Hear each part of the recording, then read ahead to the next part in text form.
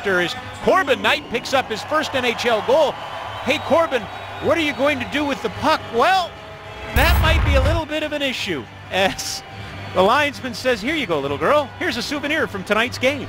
I see a trade coming here. There's You a big time so? trade coming here.